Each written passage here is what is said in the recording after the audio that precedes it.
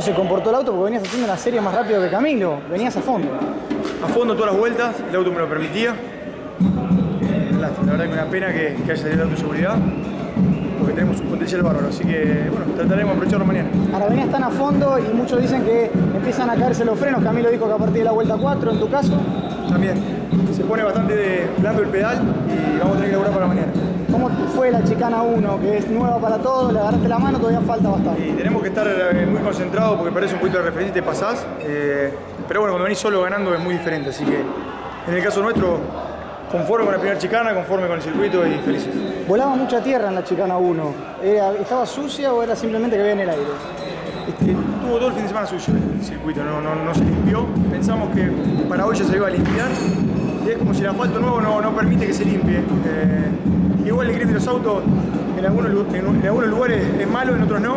Se puede correr tranquilamente. Mañana la red con Camino. Le gusta ser picante, él dijo que no tiene nada que perder.